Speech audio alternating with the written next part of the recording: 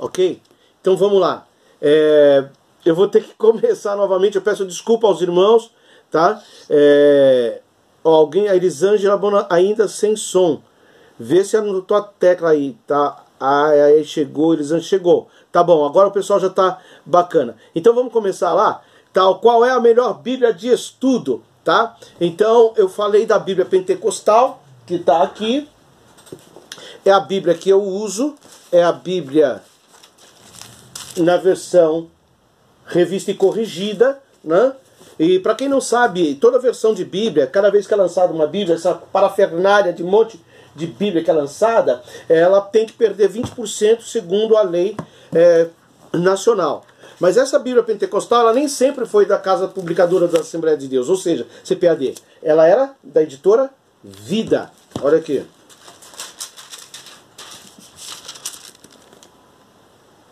A versão Reina e Valera.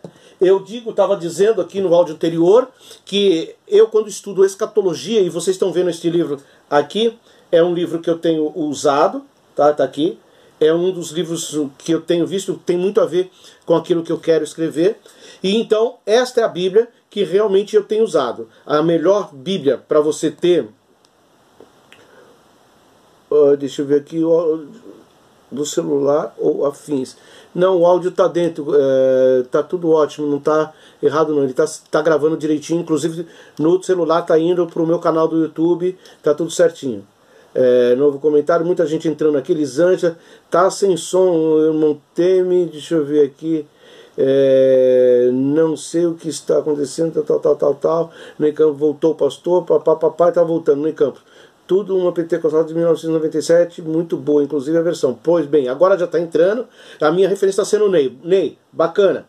E aí surge o seguinte: nós temos que entender o seguinte, que lá, antes da reforma e tal, nós temos uma, Bíblia que somente a, a chamada a Bíblia dos Bispos.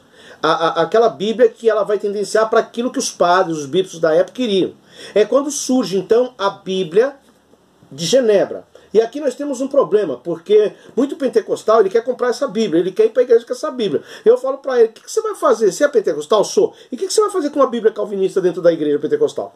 Então hoje está cheio dessa turma levando a Bíblia, pentecostal, a Bíblia é, de Genebra para dentro da Assembleia de Deus. Mas isso é um grande problema, porque tem alguns confrontos na doutrina assembleiana que contrapõem os ensinos da, uh, da Assembleia de Deus. E eu sou assembleiano, então eu sou bandeira assembleiana. E eu vou defender o meu quilhão, sempre. E aqui, para quem é calvinista, gosta. É uma boa Bíblia? É. Ela tem alguns estudos muito interessantes. Mas quando fala da doutrina, ela peca e peca muito para nós. Assim como eles lá vão olhar a nossa Bíblia pentecostal e vão achar um absurdo que nós falamos sobre o Espírito Santo. Aí é uma questão de vivência, de maturidade para poder saber o que é. Tudo bem? Então é nesse período que surge a Bíblia que eu estava falando é, logo depois, para rebater aquela Bíblia, quando o Jaime ele resolve fazer então uma nova Bíblia. Ele vai fazer não uma transliteração, ele vai fazer uma tradução dos textos originais, que é onde surge há 400 anos a Bíblia do rei James. Essa Bíblia que vai dar polo para todas as demais Bíblias comentadas em língua portuguesa e inglesa, e latina, e europeia. Então essa Bíblia ela é um marco divisor entre as Bíblias de estudo e a Bíblia que não é de estudo. Eu inclusive utilizo essa Bíblia. Uma outra é, notificação é que ela segue um pouquinho da época antiga. A Bíblia católica, todas elas são com páginas amareladas, olha. São páginas amarelas, não são páginas claras. As páginas claras ficam com as Bíblias protestantes e a página amarela com a Bíblia católica. Você pode ver que essa é a regra. No entanto, Rei James ela fez isso na nossa época para que ela fosse melhor é, entendida, de melhor utilização, ok? Então essa Bíblia é uma das Bíblias que eu tenho usado com muitos comentários do Rei James, que é muito apropriada em alguns textos. Pois bem, entrando nesta Bíblia, Entrando nessa linha, nós tínhamos a Bíblia de Genebra para a linha calvinista e temos a Bíblia pentecostal de estudo para os pentecostais. É onde surge uma Bíblia que ela vai mudar o cenário, ela vai mudar completamente o quadro, é onde é conhecida a Bíblia Vida Nova, que ela vai trazer, isso não existe mais, inclusive vou trazer em primeira mão para vocês. A Bíblia Vida Nova está sendo lançada, muito provavelmente em 2000 e final de 2019, 2020, tem algumas coisas que estão acontecendo. Ela deve sair na versão Almeida século XXI, que é uma versão por, é, editada por Dr. Luiz Saião e Goron Shaw, que é editado pela Vida Nova, e essa Bíblia vai sair muito melhor do que ela já era. Só que essa Bíblia Vida Nova é a Bíblia que ela é lançada inicialmente em dois volumes. O volume 1 para o Antigo Testamento e o volume 2 para o Novo Testamento. Depois eles condensam em um volume só, ela fica grande, bem grande. Pode ver que ela é bem diferente das demais Bíblias, porque olha só, olha o tamanho que ela fica de diferença. Entendeu? Por quê? Porque ela é bem clara para aguentar todos os comentários. E ela vai trazer aqui esboços, notas de estudo. Então o que o pessoal está fazendo algumas coisas hoje é cópia de edições Vida Nova. Ok? Aí então surge uma edição para competir com a Bíblia, que ficou entre o meio termo, entre os pentecostais e os calvinistas, que foi a Bíblia Vida Nova, é lançado a Bíblia Thompson. É, a capa dela está surrada, mas aqui eu consigo mostrar que a Bíblia Thompson de estudo. Essa é a única Bíblia que ela traz um livro a mais. Ela tem 67 livros. Por quê? 66 são da Bíblia e ela traz no seu miolo de estudo um estudo sobre arqueologia. Foi a primeira Bíblia que fez essa inovação arqueológica para diferenciar das demais. Vida Nova vai trazer esboços, vai trazer montagem de textos de estudos referenciais, mas ela vai trazer um estudo arqueológico em algumas passagens. Então a Bíblia é, Thompson, ela se difere nisso. Uma outra, uma outra diferença que existe nela é que ela é uma edição que ela não vai usar o texto RC, que é revista corrigida, e nem as suas várias vertentes. Muito menos a versão atualizada e as suas vertentes. Ela vai usar uma versão intermediária, que é a versão contemporânea, fugindo completamente a essa linha. Amém? Então aqui são muitas Bíblias, são muito, mas eu vou passar um pouco do que tem. Uma coisa que eu quero falar é uma Bíblia que incomodou muita gente, uma Bíblia que deixou muita gente triste tá? Que feliz quando ela entrou. Bíblia de Dake, tá? Muita gente, eu dava risada, às vezes o pessoal achava, você tem a Bíblia Dake aí? Nossa, eu ria demais, sorria demais. Por quê? Porque não é a Bíblia Dake, Dake é Bíblia Dake. Bíblia de Finis Dake, que é de Finis Jeremy Dake, que foi o autor da Bíblia. Então, esse camarada aqui, ele fez a Bíblia dos meus sonhos e de sonhos de muita gente. Ela tem tudo acoplado, ela tem muita coisa. O problema é que Dake, antes dele é, é, é sair, para demandar para o Teologia Aberta, ele era pentecostal, ele era das Assembleias de Deus nos Estados Unidos. Até que ele se envolve com um problema e tal, de ordem pessoal, que está registrado e tal. E aí então ele demanda na prisão com, com várias coisas que são terríveis para estudo, ok? Mas existe uma referência. Casa Publicadeira da Assembleia de Deus, a CPAD, ela lançou um livro de Reinhard Graff, tá? que é Cristianismo em Crise, eu deixei até marcado aqui. Ela traz algumas notas sobre esta Bíblia, na página de 1237, você pode ver, ele vai falar sobre a Bíblia Dake. Eu já venho algum tempo dizendo. Depois ela tem uma nota também no dicionário pentecostal, que é esse laranja que está aqui, que você está vendo, laranja, tá? Em que ele fala de Finis Dake, da biografia de Dake, tá? O detalhe de Dake é que enquanto ele está fazendo a Bíblia na boa, enquanto ele não tem problema de demandar, é uma Bíblia fantástica. Tanto é que essa Bíblia ela é lançada inicialmente pela CPAD em parceria com a editora Atos, que é quem detinha é, é, é, os direitos dessa Bíblia. Olha aqui, Atos e CPAD. Só que a CPD vai tirar algumas coisas desta Bíblia, alguns textos, que tinha mais a ver com o texto é, das Assembleias de Deus. Né? Porque, claro, a gente pega algumas coisas. A família Dake fica doida da vida, fala, não, não vai tirar nada, isso daqui é nosso, tem que deixar de um outro jeito. Então a CPAD se retira, ela tira seu time de campo, fica só com a editora Atos, a editora Atos então vai publicar e publica mais cento e poucas páginas, trazendo a Bíblia de estudo Dake. É uma Bíblia que eu digo o seguinte, é uma boa Bíblia? É. Como toda outra tem problema? Tem. Se você souber tirar, esmiuçar bem essa Bíblia, você vai saber tirar espinha de peixe, você pode usar sem problema nenhum. Agora, se você não é teólogo, se você não tem um, um, uma, uma base boa, eu não aconselho Dake porque é melhor você comer coisa sadia. E Ren, Ren Graff, ele vai dar um banho sobre é esse texto, ok? É, mais uma Bíblia que eu quero lançar para vocês. É uma Bíblia que eu gosto dela para dar risada, porque ela está inclusive gasta aqui, mas é uma Bíblia que tem muita referência. Bíblia MacArthur, Quando ela foi lançada, foi uma bênção e tudo mais. Mas quando você começa a pegar alguns textos, ela é puramente calvinista. É, é, todo mundo sabe, MacArthur, ele não fica em cima do muro, ele é calvinista assumido. Tem coisas boas aqui? Tem. Mas tem coisa aqui que não me agrada. Né? Tem coisas que tal. Porque eu sou pentecostal. Eu não sou é, de ficar em cima do muro como alguns aí. Eu sou pentecostal e não gosto de coisas que falam contra a Assembleia de Deus, contra o Espírito Santo e assim por diante. A noção que esses caras têm sobre o Espírito Santo é um pouco diferente de nós, assembleianos, que já tivemos o poder do Espírito, já sentimos a presença do Espírito, já fomos tocados e levantados e agraciados por ele. E é difícil você entender isso. Isso não é uma coisa que se explica, é uma coisa que se sente. E quando não se sente, não adianta. Nós temos, por exemplo, o Dr. Ernesto Tonini, que já repousa no Senhor, que quando era batista, com uma visão completamente calvinista, ele muda por ser tocado pelo Espírito Santo e depois o resto vocês já sabem como é. Eu quero mostrar uma Bíblia que muito eu gosto de usar. Olha o tamanhozinho dela. A capa dela já foi trocada. Eu não deixo. Ela tá surrada, mas é o que o meu companheiro tá falando aqui, Ednei, tá? Vamos ver se você sabe. Eu não uso, tá? A, a, a versão dela atual. Eu prefiro essa daqui, que é a versão de Charles Wright, tá? Charles Candrell Wright, da Mundo Cristão. É uma Bíblia que eu amo, ela tem no final alguns estudos. Eu gosto dela porque ela tem um curso teológico aqui dentro, tá? Ao contrário de uma tal Bíblia pentecostal que também não vou falar mal e tudo, né, que traz aí, mas essa Bíblia é inovada. Ela tem há coisa mais uns 15 anos, ela foi lançada e é uma Bíblia que marcou território, é os ensinos muito básicos, muito claro, aliás. Ela traz a versão RA, muito boa, muito boa, e eu gosto particularmente de ver esta Bíblia sempre que eu tenho alguma nota para discutir, eu sempre procuro a Bíblia menor de Charles Wright. Tá? É, uma outra Bíblia que eu gosto de apresentar é uma Bíblia que vem é, numa versão é, batista, a Bíblia de Estudo do Discípulo. Eu diria o seguinte: ela é muito estudo, ela é muito disciplinar.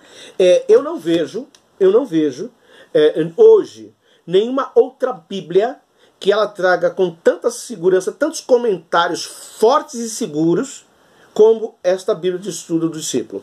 Eu uso pouco, não é o tipo da Bíblia que eu tenho é, para ficar usando no dia a dia, mas meus estudos não passam sem uma nota, uma pesquisa da Bíblia do discípulo.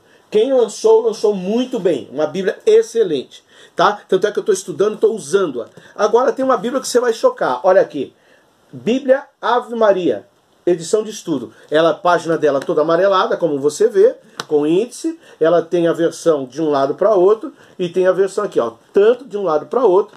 Quando eu viro, ela também tem o marca-texto, tá?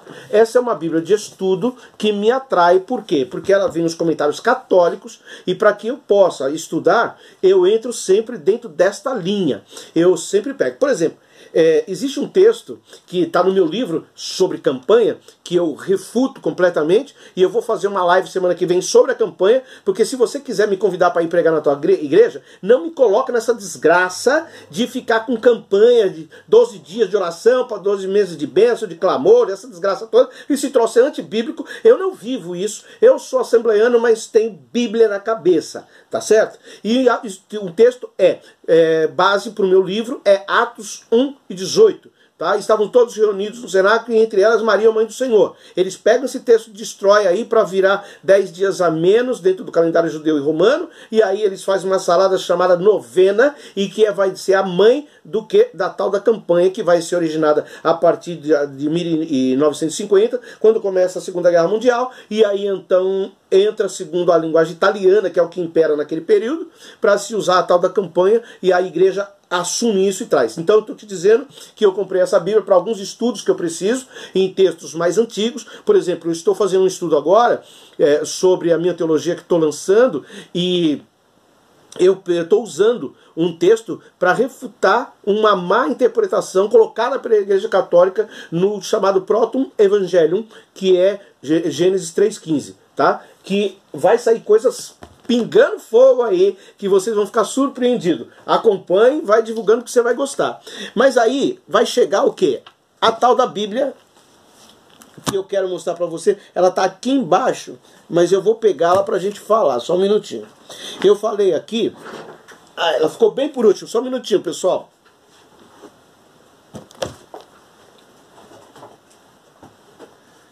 que aí dá para falar. As Assembleias de Deus, lá no, no passado, falou que a Bíblia era do diabo. Que essa versão era do diabo, que era do capeta e tudo mais, né? Só que, na verdade, quem entende sabe do que eu estou falando, né? Uh, New Version International, ok? Mais próximo. Bíblia de Estudo NVI. Por que, que eu uso esta versão, não aquela outra? Porque essa daqui, quando ela foi lançada, ela trouxe alguns comentários, uns textos, né? É, bem original. Esta Bíblia é a única Bíblia que ela não é transliterada. Todas essas Bíblias que vocês estão ouvindo falar aqui é todas transliteradas. O que é transliterada? É a Bíblia que ela sai do seu texto original, vai para uma língua universal que seria aí o inglês, e do inglês ela é traduzida para uma outra língua, um outro idioma. Por exemplo, ela sai do inglês para o italiano, sai do inglês para o espanhol, sai do inglês para o alemão e assim por diante. Esta Bíblia foi a única Bíblia que foi traduzida. Se nós tivéssemos que usar hoje no cenário nacional uma Bíblia de teor seguro de tradução, seria a Bíblia NVI, traduzida pelo nosso querido Luiz Saião, que tem pedegal para poder traduzir e ver qual é a melhor interpretação que ele pode dar ao texto mediante aquilo que o brasileiro vai precisar ouvir e interpretar. Então, a melhor é, Bíblia, no meu modo de ver, uma das melhores Bíblias é a versão é, NVI. Foi aproveitando essa versão NVI que foi lançado há 15 anos, na versão NVI, a Bíblia de Estudo Cronológico. O que apareceu depois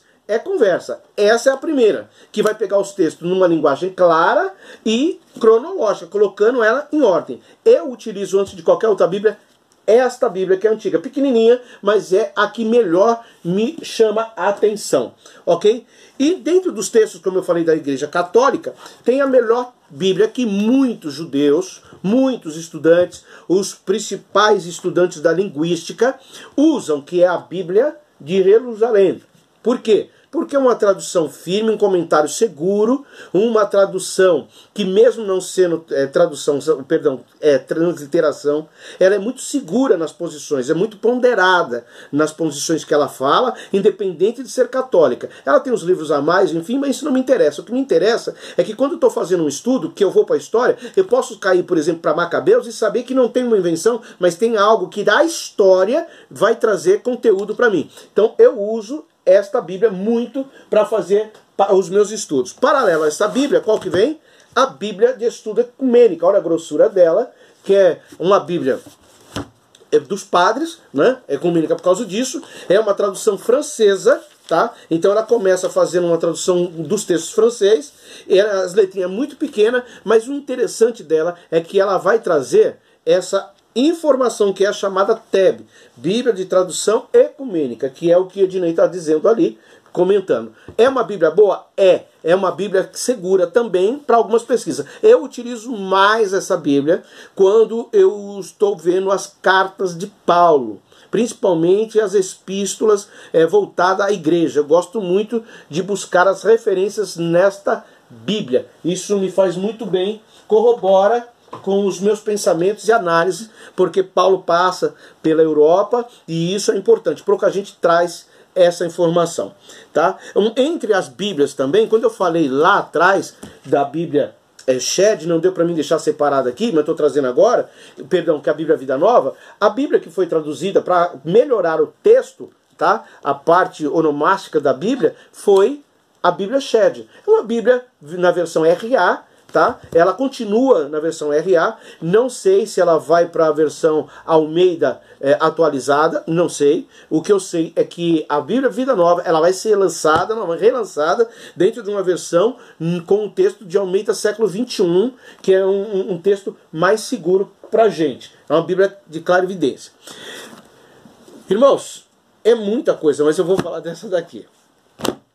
Bíblia hebraica e Bíblia judaica. Aqui, deixa eu abrir para você ver. Bíblia chamada. Aqui nós temos dentro dessa Bíblia o Taná e o Hadashá, que é o Taná é o comentário do Antigo Testamento e o Hadashá é do Novo Testamento.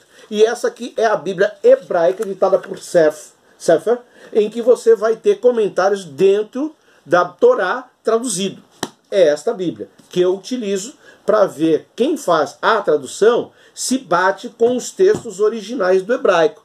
Então eu utilizo muito.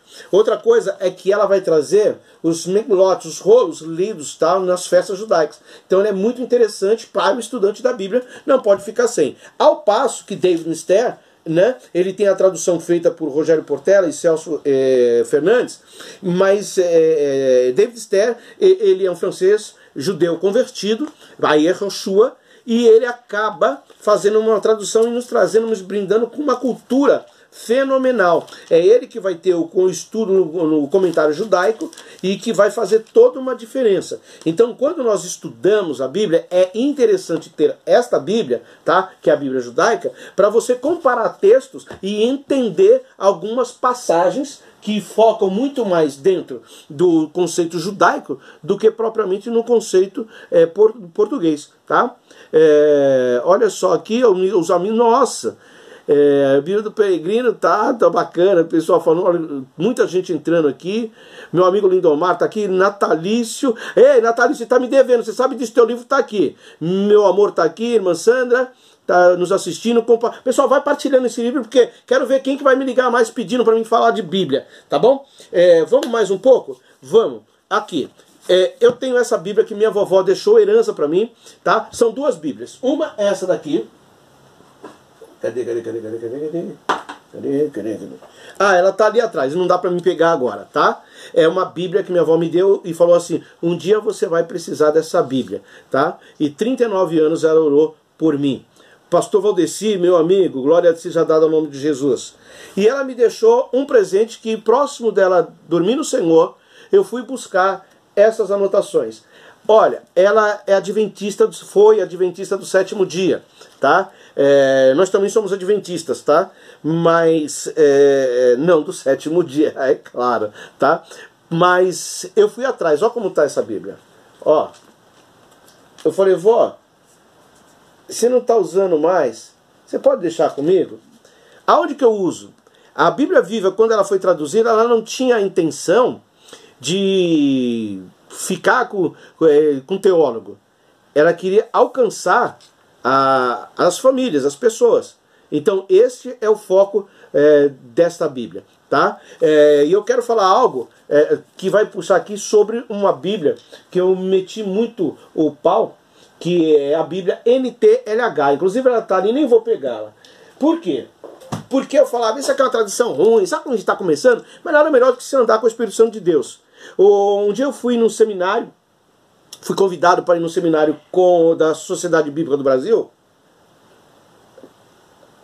e tinha vários eruditos ali e tal, que era um trabalho sobre a NTLH. E eu, com a minha cara preta, bocuda, abri a boca para levar uma burdoada de Jesus com luva de pelica, é claro. Por que, que vocês lançam uma Bíblia tão complicada e tal para poder trazer fora dos textos originais que foge palavras, principalmente nos evangelhos, enfim? Meu irmão, o que eu ouvi lá me deixou com uma vergonha terrível. Essa Bíblia NTLH, nova eh, tradução linguagem de hoje, ela foi escrita originalmente para o centro-oeste norte-americano para evangelizar, tá? desculpe, para trazer estudos né, para os índios que eram convertidos a Jesus Cristo. É, o foco dela foi esse. E aí, com o passar do tempo, ela ganhou, por causa desse foco que foi bem aceita, ela ganhou comentários para justificar aqueles índios que foram é, evangelizados. Quando ela chega no Brasil, ela chega com uma outra conotação. Que cabeçudos como eu era, talvez ainda seja, não sei, é, tinha uma opinião vaga, mas é uma das melhores Bíblias que traz estudos sobre ah, o Antigo e o Novo Testamento. O foco dela não é se ater a textos originais, é comentar o que o texto original está trazendo. Amém? Aprendeu? É como eu também. Agora, pensa num caba que pagou 800 reais numa Bíblia. Tá aqui. Aí você vai falar assim, que Bíblia é essa? Ah, vou matar sua curiosidade. Bíblia de Estudo de Scofield. Olha esse carimbo. O que significa isso? Que ela não tinha a Bíblia que vai falar sobre as dispensações. Esse cara é contemporâneo de Schaeffer, da teologia de Schaeffer. E aqui é interessante. Eu fiz uma análise aqui na época que eu peguei, ó, 92.200, 94.200, tá vendo? Você que está aí no, no YouTube, tá? Para cada 92.400 brasileiros, um tem uma Bíblia dessa. Eu sou um deles. É uma versão de tradução portuguesa, porém na tradução espanhola Reina Valera. E essa aqui é uma riqueza, porque o que ele traz aqui é diferente. Depois é que foi lançado, acho que uns 5, 6 meses depois, é que eu tinha pago essa Bíblia, é que foi lançado a Bíblia de Scofield em território nacional. Mas não me arrependo, porque eu continuo tendo esta Bíblia como uma riqueza dentro dos meus estudos. Quando eu estudo escatologia fora a Bíblia espanhol, eu me recorro para as dispensações nesta Bíblia de Scofield, que não tem outra. É dispensacionalista. E quem não é dispensacionalista, quem não é pentecostal, quem não gosta dessa linha, não tem essa Bíblia que você vai continuar parado, engessado. E qualquer dia eu vou falar alguma coisa sobre dispensação aqui, para que alguns calvinistas aí, nada pessoal e tal, mas para que eles reflitam um pouco sobre não acreditar na ação é, do Espírito Santo e muito menos nas divisões, tá bom? Agora, olha só o que chegou para mim há dois anos. Bíblia LTT. O que é a Bíblia LTT? Texto literal do texto tradicional. Olha só, este homem, tá? Que é um estudioso, o Hélio Menezes da Silva, ele passa praticamente toda a sua vida pegando os textos. E aonde que é o diferencial desta Bíblia? Ele pega o texto, coloca algumas passagens que estão em vermelho e coloca notas de estudo do texto hebraico na hora que você está lendo. Olha que rico. Então, se a Bíblia Plenitude ela trabalha com textos do hebraico, com palavras específicas do hebraico, essa daqui não vai fazer um comentário, ela vai acrescentar o texto e vai dar sentido àquela texto, àquele texto. Uma outra coisa interessante que essa Bíblia faz, e quem tem a Bible Work ou tem a, a, a Ai meu Deus, me fugiu aqui agora. A Bíblia eletrônica, depois eu falo. A The Word tem essa Bíblia já automaticamente ali para conjugar texto. Eu, pouca gente sabe disso, mas eu utilizo este texto muito para fazer alguma interpretação. Inclusive, na época, eu fiquei muito feliz porque quando eu escrevi meu livro de Esther, há 11 anos atrás, eu não tinha esta Bíblia como recurso, tá? E depois eu fui ver que aquilo que eu coloquei pela direção do Espírito tinha tudo a ver com aquilo que eu tinha escrito. Louvado seja o nome do Senhor. Uma biblinha católica para vocês, para vocês ficarem com água na boca, tá bom?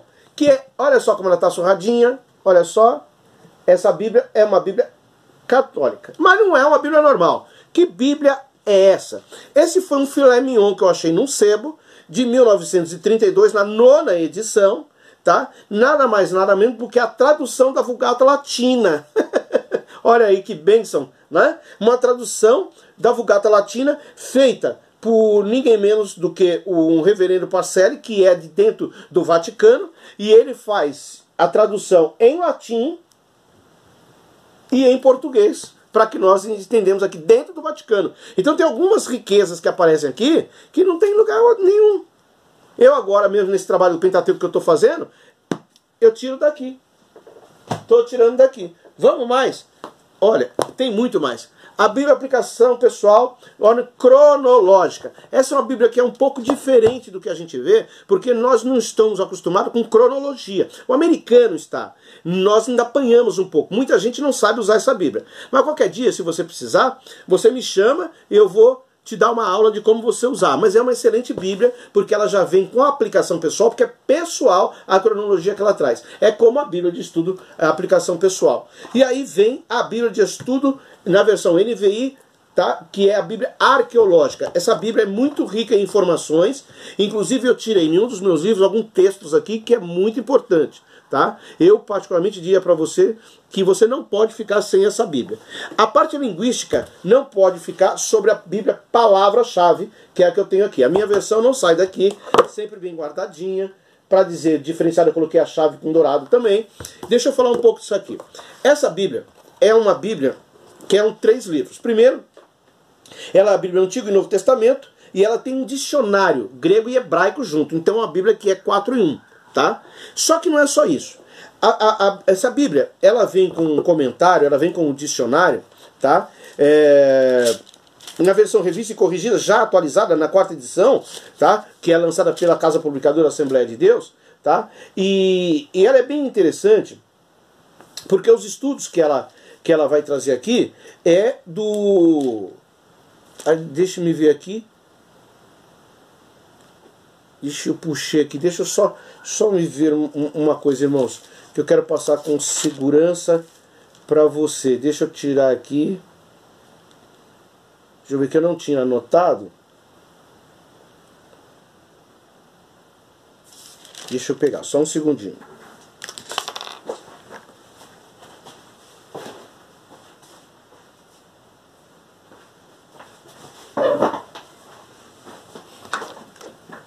Pois bem, eu peguei ali, eu estava tentando pegar porque o dicionário está do, outro lado, mas enfim. A, as notas do hebraico aqui, elas seguem a concordância, exaustiva concordância de Strong. É, nós não temos em língua portuguesa essa concordância, tá? Tem algumas coisas na internet que é traduzida e tal, mas enfim. Se nós tivéssemos, nós estamos falando aqui de mais ou menos 140 mil verbetes, tá? Esta Bíblia, quando ela foi lançada pela Casa Publicadora, ela saiu com 10%. Então ela vai trazer aqui 14 mil verbetes, tá? Para você ter. E ela já é exaustiva nas primeiras páginas que você pega. Se você for saber usar esta Bíblia, é uma das Bíblias mais ricas para estudo e pesquisa, é a Bíblia palavra-chave, que muita gente não sabe usar. Essa é a grande verdade, tá? Agora, nessa a peixita, pastor, claro, a peixita a gente fala depois, porque senão entra para linguística. Senão entra para linguística. É... Nós fomos blindados aqui no Brasil com esta Bíblia. Bíblia de estudo de referência reforma.